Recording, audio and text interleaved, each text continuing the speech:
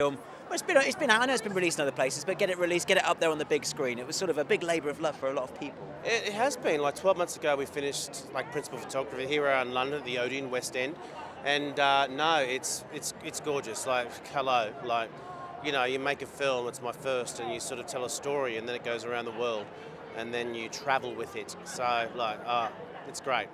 It's one of those nice, heartwarming stories. I think audiences are going to really enjoy going along, hearing some good tunes, and having a laugh. I think so. Like, you know, you want a bit of love and joy, don't you? You want someone to take your girlfriend or your mum or your auntie or something and take them back again when you have another girlfriend or something, you know. So I think in the space of, you know, four to six, seven or eight weeks, and, you know, it, it's going to be a good, it's, it, it's, it's one of those uplifting films. So uh, we'll see. Obviously, the UK interest. Uh, Chris has uh, risen to be a big star, and he's great in this film, isn't he? He's a sort of very, very funny role, sort of bringing the girls together. What's, what do you make of, uh, your leading man?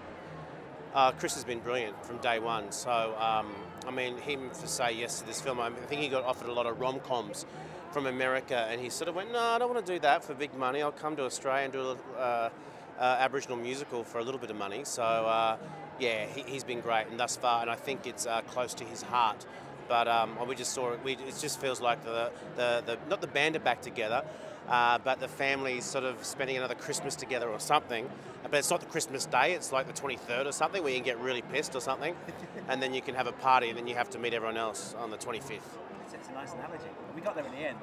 Uh, yeah, I think we got there in the end. So. and he's got a great voice, isn't he? Uh, yeah, he's, he's got a great voice. He's got a big heart, you know, and uh, so it suits our character. So yeah.